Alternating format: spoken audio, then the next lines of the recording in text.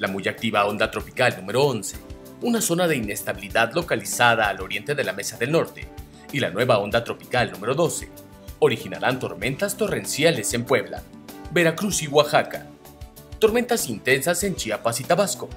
y tormentas muy fuertes en Jalisco, Colima, Michoacán, Guerrero, Estado de México, Ciudad de México y Morelos. Finalmente, continuará el ambiente muy caluroso en el noroeste de la República,